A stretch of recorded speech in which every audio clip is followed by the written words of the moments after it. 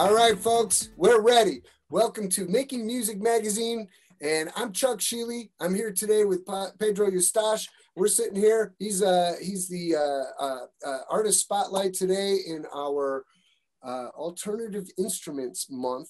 He is the master of many flutes, winds, whatever. If it makes noise, he's got it. He's into every part of the world. And I mean, literally, not just the world and the globe. He, he has instruments that represent the entire globe and he can play them, hundreds of them, I believe. And not only that, but he's in the world of music itself. He teaches, he's He's played with McCartney. He's played with symphonies. He's played with people's with names you can't even pronounce. He is from he's he's into education, games, movie soundtracks. Have I left anything out? Jingles, you know. Anyway, please meet my new friend Pedro. Hi, Chuck. A blessing to be here with you. God bless you, and thanks to Jason who put us together. God bless you. I'm uh, I'm honored to be here with you, Jason. Yep. Yeah. Bless you. Bless you. I got to say, I think I've always considered myself the busiest, hardest working person I've ever met next to my dad. But when I just read your resume, you know, I, swe- I stopped sweating, got up off the floor, and applied a few band aids. I, I couldn't believe how much you've done. You are quite possibly the busiest musician I have ever. I, I, I, I just can't believe it. So, like, have you had any sleep lately? uh, Chuck, that's uh, that's a wonderful accolade. God bless you. Thank you. It's an exercise in balance, as, as you can imagine, mm-hmm. uh, and it in my reality responds to many different things. Uh, this almost kind of obsessive compulsive thing is a family thing, but it also responds as a consequence of awareness, which is something I want to share with our with with our friends, whoever listens to this awareness is the most important key element I can address. My my gifting is not in facility. Things are very hard for me to do. I have to work like a dog to get them. No, a dog is a wonderful thing. I should not speak like that. That's I mean to say I have to work really, really, really hard and break my back practicing in order to make things to, to flow, to, to, to work. My gifting is more in perception, in realizing, in having that awareness that critical thinking thing of realizing something that is good. And then I work very, very hard at developing that. Uh, so the awareness to know what it is God has given me. I'm a believer, not proselytizing, not selling uh, ideology. I respect and love people too much for that. That would be very low. That's not what my life is about. But as an artist, I owe it to myself, to my reality. My reality is I'm a follower of Christ. And Chuck, everything you said comes as a consequence. This, I don't know if you know this, and I'll put this right off the bat. Um, from a, among many other things, but most importantly, out of a huge tragedy my wife and I went through. Uh, we lost our beautiful little daughter to brain cancer 32 years ago. And when you face something like that, um, by the grace of God, we made it through that black hole. And I promised to myself, I'm not going to waste one second of my time in this earth. She completed her mission at three years and nine months. She went to eternity. I said, She's a great lesson for me. I will not, I'm accountable with the beautiful gift God blessed me, God entrusted me with. I need to give Him back from what, and that's what I've done. And the most amazing thing, Chuck, is listen, uh, I don't understand people who do stuff so that they can get money so that they can live. Uh, what we have as musicians is such an amazing, rare, sadly rare reality that sadly we rare. can do our calling and make a living at it. Can you believe that? So I don't have a hobby. I don't need a hobby because I need to make instruments with double holes and where tradition says, you know, a bansuri from India got six holes, then I have to make my own that has 15 holes, you know, then I can have access to sounds and sonorities in a, in a very uh, a stable way that we would not have with a traditional thing and like that. And limitations out of the reality of me, for example, not being born in India, to develop a technique that would have taken 10 hours a day for 15 years. I got the brain God gave me, so I'm gonna need to find a way. Either I give up, I break the flute and throw it through the window. By the way, that's one of the beautiful experiences. Um, July 94, I went to take up my first lesson with great Ravi Shankar. I was his, to my knowledge, his only Latin American uh, flautist student. And I was so incredibly crushed by Anushka Shankar. She was 13 back then, imagine that. And she's like a machine gun going through the sitar. And there's Kartik Seshadri playing the sitar, a senior disciple of Raviji who's like brilliant. And we're doing mm-hmm. Ahir Bhairav, which is a raga that has two komals, which is two flats. And I'm struggling with this guy here. And I'm going, Raviji pay me one of the most exquisite, delicious insults ever, Chuck. he said. Sometimes they're good for you when they yeah, come from the right he, place, you know? He kicked my booty without permission beautifully. He said, Pedro, I'm sorry, because you know, Indian, he said, uh, I'm sorry, but you sound like an elephant trying to run. you can't even make that up. I'm telling you, when I got home, I said, either I give up, and I'm not a person to give up. I said, I need to find a solution. Few months after that, I came up with this, which gives me all the possibilities and then some more acoustically that I cannot get. And then when I brought this to him, he freaked out. He blessed me and everything. He put his hand. Wow. And he told me, You have to patent this because they will steal it from you in India. They've done the same thing with me. So, this is again, all of this is to say, literally, how beautiful, how powerful it is to take a limitation, a disadvantage, and turn it into an advantage. That's very powerful. I love that. That's right. That's very much, that's one of the best lessons anybody could have just as basic human equipment from, from the womb, man, you know? Correct. So, Correct. Yeah. Yeah. Well, thank you for that. and then let me show you real quick.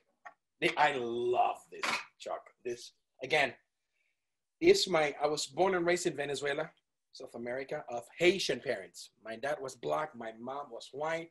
That's why I'm cafe au lait. but like uh, Lebo Morake, Lebo M, he's a singer for the Lion King. The, oh, oh, yeah, yeah, yeah. I love it. We toured the world with Hans Zimmer together. You know, and Lebo said, no, no, no, Pedro, you're cappuccino, cappuccino. hey, Hans Zimmer, was uh, Tina Guo on that gig? Are you kidding me? Tina was been from the very beginning. Yeah, of course. Yeah, okay, yeah. We had her on the show I've been working with her for ago. years. Yes, we toured the world. In fact, that was Hans Zimmer Live um, I have been doing also the world of Hans Zimmer, which is a completely different project. And for a while, she was subbing for Marie Spaemann, uh, the cellist. So Tina also for, for a while happened in the, the world of Hans Zimmer. Completely different arrangements, completely different everything. But yeah, yeah, yeah, yeah. We did that. And I've been Hans's wings guy for 15, 20 years now. And like that, God has blessed me. John Williams and John Debney, John Powell, James Newton Howard. By the way, five of the nominated best score, best uh, uh, original score for the Oscars, I have played in two of them. I played with Terry Blanchard's uh, Da 5 Blood. I played Duduk, by the way, in that. The Duduk in, nice. in that. And I did uh, News of the World with James Newton Howard. And uh, yeah, so this year is, uh, is uh, in spite of all the craziness, it's a, it's a wonderful year. And I wanted to show you something else real quick as well. Aha! You're gonna love this thing. All right. This I'm is, sure I will. This is my flute, right? I mean, let me let me do the right thing here. My my regular flute, okay? You could probably pull out a toaster and just like Well, that is that is something that comes as a consequence. I was saying, being, yeah, being born and raised in Venezuela, Chuck, we have to find solutions to things.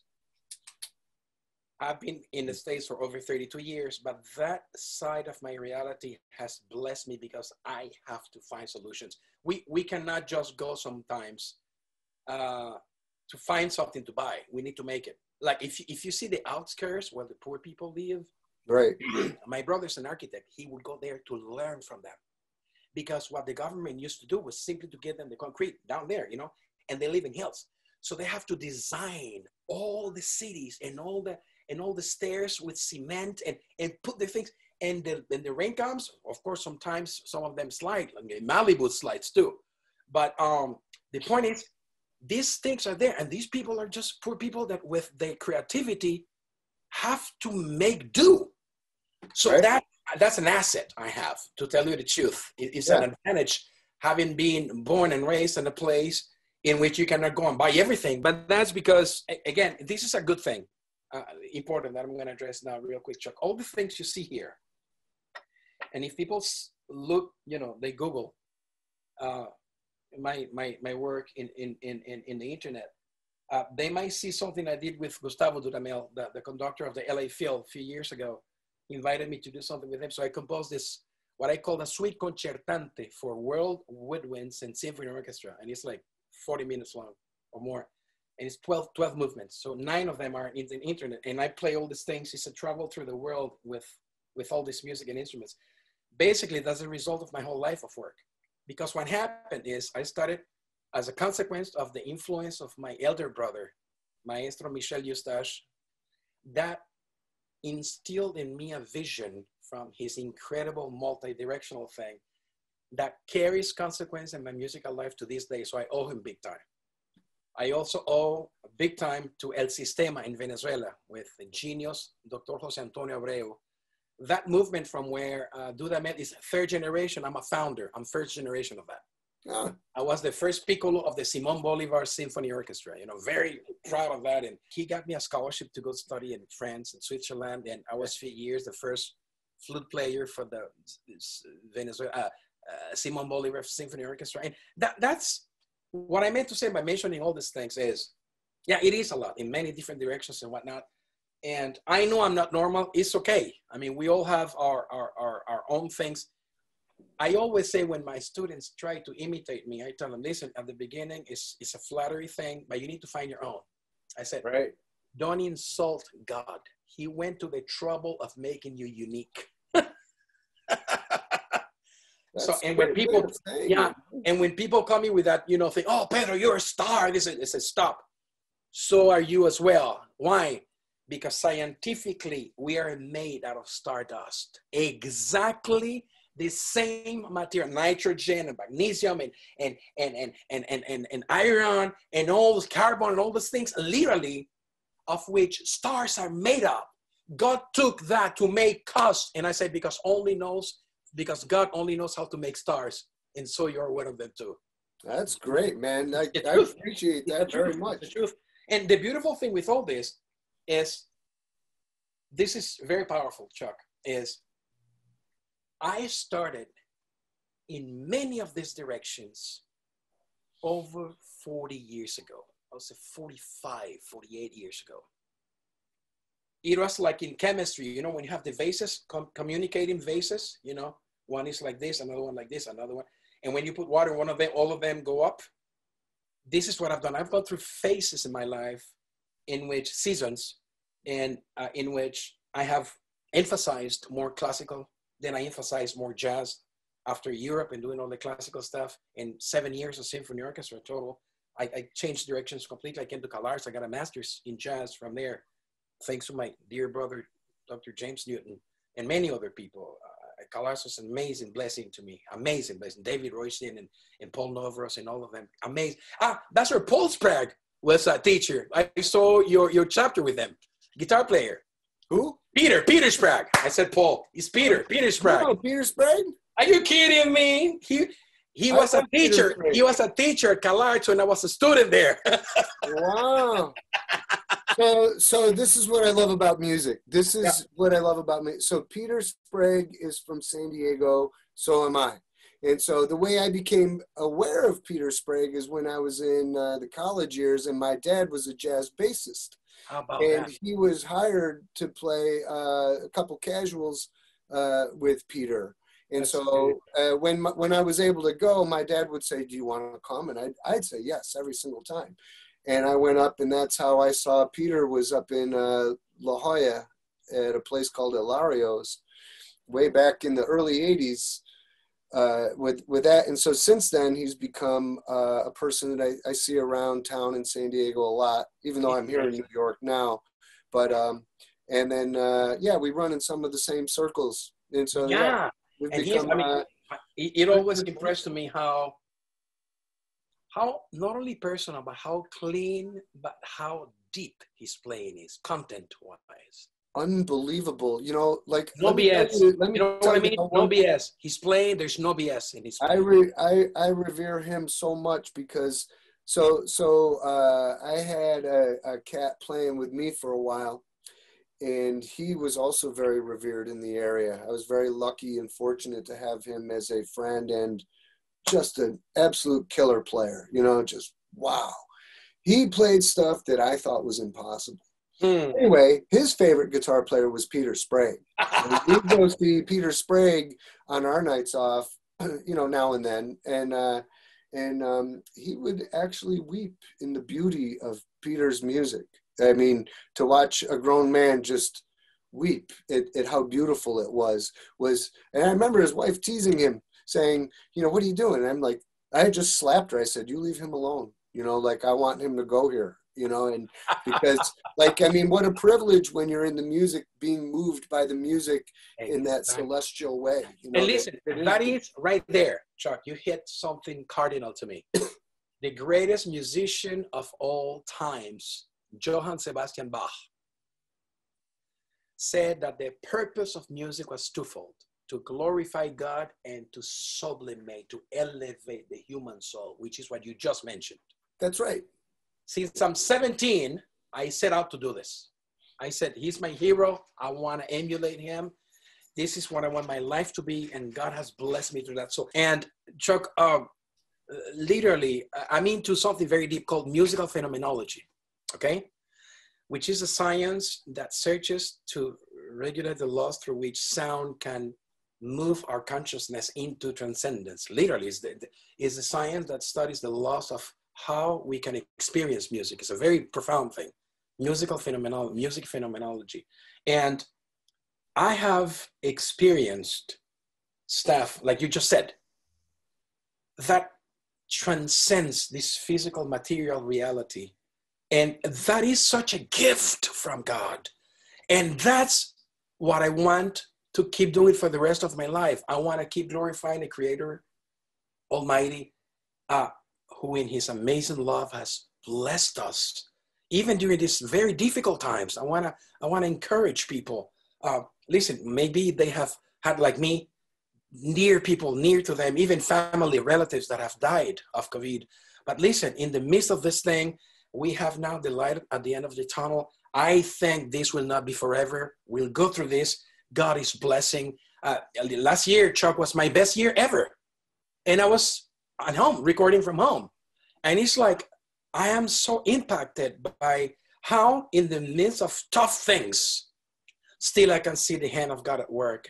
And that blesses me tremendously. So I want to encourage people to, you know, do music so that we can even make this planet a wonderful, less painful place to live. Amen. I, I, I am so happy to meet you. This is, I have all the exact same thing to say right back at you. I mean, my music comes from that place. And to hear you say that, it's nice to know that I just made another friend in the world. God bless you. you know, you right I, was, I was reading Kenny Garrett yesterday. He said the same. He's on writing his interview with San Francisco Jazz Time. And I'm going like, whoa, many of us believe the same. We and you know when I'm touring with with Hans with his music, Chuck, I'm crying on stage. Well, this you know, I mean, another place. I mean, really, just really, I mean, why is music so unimportant uh, to some that they don't want to pay for it or they don't feel like it's this way when really, like, it is the only thing there is on the planet that can make everybody, regardless of what your affiliation is or what you disagree about, you can still dance together. I agree. It is through the language of music. It is a voice of you know, God. People like that that don't get it, I'm sorry, I pity them. All right. I do too. I need, I need to be compassionate because great. You know, like I have a better life than rich men. You know, are you like, kidding me? Hey, hey Chuck, what we have is priceless. You cannot put a money right. price on what we do. Right, right. Forget about it. All right, my brother. Well, thank you very much. This has been uh, one of my very favorite conversations. With oh, bless you, Chuck. And I hope to see you out there and uh, shake your hand sometime, man. Um, but that will come. You know, that will come because like now, like we said, you know, we're, we're starting to see some light. The vaccines are coming. You know, I can't wait. The funny thing is, I'm not old enough or or sick enough to qualify yet. my turn is coming, and I'll. Yeah. listen, Chuck, I cannot thank you enough for this opportunity to change, to, to share, is what I meant to say. And please do feel free to edit things. You know, you know, we wasted a little bit seconds looking for the thing, and whatnot. Yeah, we cut the whole thing down to two minutes. Ah. but really, is what, what, what, what, I, what I meant to say, which I started and I didn't finish that idea real quick, is it's not that I have been doing this only now everything I've been doing, I've been carrying for 45 years. I just emphasized certain things at certain points, like I played the flute only for 10 years before picking up the sax again, and things like that. So now things do like the communicate, communicating uh, vases, things do affect one another. When I play duduk a lot, my soprano sax gets better. And when I play bansuri, my flute gets better, and like that. When I play I call that compound intelligence. Exactly, compound and each one affects the other. Yes. By the way, Chuck, tomorrow this is a, a, a, a premiere. I'm giving you an exclusive. Okay, to, we did this recording on um, March 31st. Tomorrow will be April 1st. Okay, tomorrow, and I'll send you the link later because okay. I'll have it tomorrow when it comes. You're gonna love this, my bro. I finished this, I promise. Tomorrow, the neuroscientist department of the Cambridge University, of Cambridge University, is putting out uh, a little video, uh, barely 10 minutes video of while we were touring, I was in London at the O2. We did 18,000 people there in November 2019. With, with the day before, two PhDs from Cambridge led by Dr. Uh, Andres Canales Johnson, Cambridge, put the sensor in my brain, and for five hours, they registered my brain activity both while playing classical or fixed things, and after a control of five minutes each time, completely improvising from zero. That little video will come alive tomorrow from the Cambridge wow. Department of Neuroscience. I can't so, wait to see that. Yeah, it's amazing. Direct me to that. We'll, we'll I, I, will. I promise. I'll send you. I'll we'll send you the, the, link tomorrow. Awesome. But yeah, this, this is a first, and nobody knows this. I'm giving you a completely first here. Thank you so much. I Thank received so the information much. today that it'll come tomorrow. All right. Well, tell everybody who's watching today where where we can find you. What's your website? I'm pedroflute.com. Pedroflute.com. And awesome. my name is Pedro Eustache. If you put Pedro Eustache with uh, quotation marks and you put flute, you're gonna see a gazillion things in there. Please visit me on Instagram and Facebook. I got like five different pages on Facebook, whatnot. But it's uh, most importantly, more than anything, uh, Chuck, I don't do this as a business. I'm not good at that thing. It's a miracle I can make a living at this because I'm not business oriented. Um, but but it is a blessing to be able to communicate with people through this social media thing and to be able to share the blessings God has allowed so like you to do this. Thank you. Thank you so much. I really, I, I, I'm very grateful for this. So thank you. Okay, folks, if you had a good time, make sure you go visit Pedro Eustache at his websites and all his social medias. Make sure you hit the like button here, subscribe to our newsletter, like our, our, our YouTube page, all our social medias. Stay in touch, keep practicing, keep playing, keep playing music, and have a great day. Excellent. God bless you guys.